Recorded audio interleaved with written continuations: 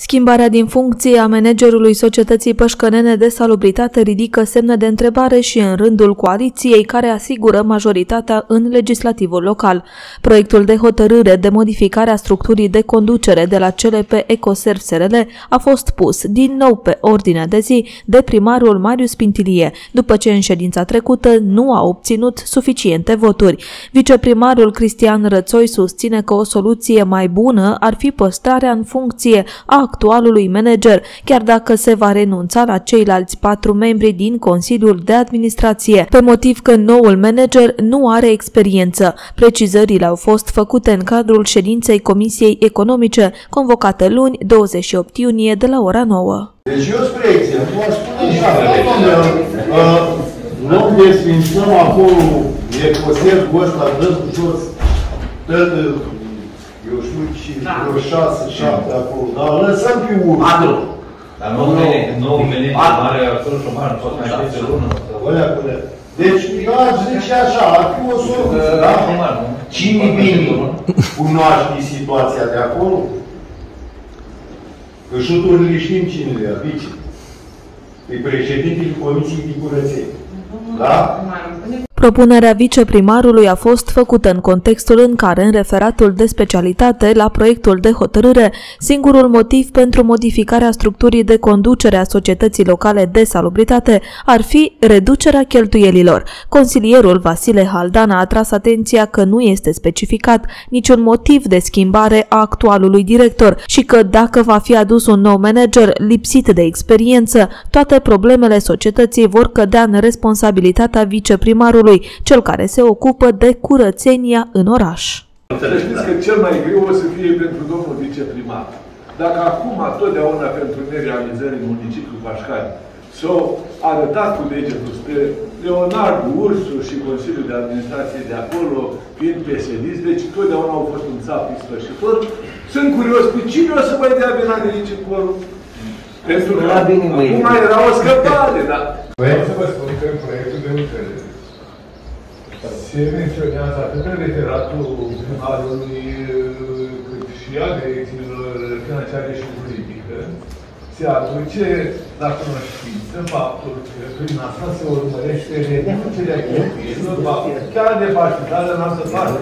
Nu se vorbește nimic despre uh, ineficiența directorului general sau admi- administratorului Ursu. Deci nu intră în discuție acum uh, uh, numirea unui altuia în locul lui, atâta timp cât pe el nu, nu ai nici o motivație măcar de schimbare.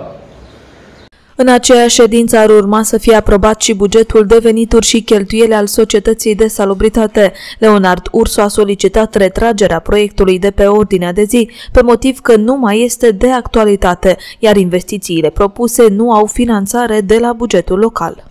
Însă, având în vedere că noi nu știm să punem căruța înaintea boilor, eu consider că acest proiect trebuie retras, chiar dacă nu este imperios necesar pentru buna desfășurare a activității. Probabil administrația s-a gândit la altceva.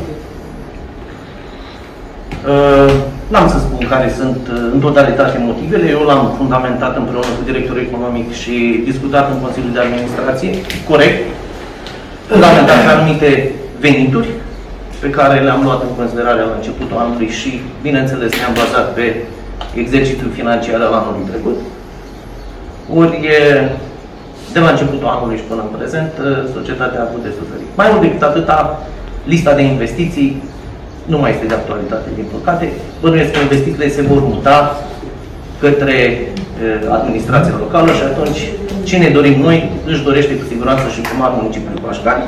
Și așa cum prevăd contractele de delegare, uh, acele utilaje pe care o să reușească să le achiziționeze o să fie date în uh, concesiune către cele pe ecosat.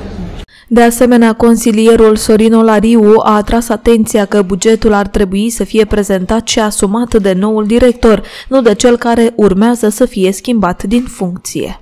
Dacă acest uh, proiect de buget va fi aprobat, eu văd, uh, cred că uh, cei care vor aproba acest buget uh, vor recunoaște că de fapt este un buget bun și totul e în regulă. Da? uh, votez bugetul, spui că e în regulă, e perfect, ce se întâmplă la ecosalubritate, dar după 5 minute sau 10 minute, în funcție de cât vor uh, dura discuțiile, votez schimbarea managerului. Adică nu are sens. Acum spui că bugetul e bun, îl votez și după aia spui că managerul nu e bun. În același context, actualul manager a amenințat că va da primăria și Consiliul Local în judecată, pe motiv că mai are un an de mandat din contractul de management, iar despăgubirile vor fi achitate de la bugetul local. Să nu câștig uh, un proces pe care îl voi intenta pe lui. Bine, doamne, deci asta Ce răspund de asta? Asta Da, e știi, prost. asta Dar trebuie trebuie să să procesați. cereți. Am înțeles. Nu știu, evidența dumneavoastră și care a conceput acest proces este Nu într-adevăr ne voi mai cerușie. repeta. Deci noi am înțeles efectiv situația. Dacă mai sunt Ați alte priceput-o. discuții. Dacă nu spunem la vot. Cine este pentru? Patru voturi pentru. Abțineri? Împotrivă? Două împotrivă. Aviz favorabil. Menționăm că primarul Marius Pintilie a solicitat schimbarea din funcție a managerului de la salubritate, pe motiv că nu se poate înțelege cu el, în contextul în care societatea a înregistrat profit după mulți ani de zile de pierderi.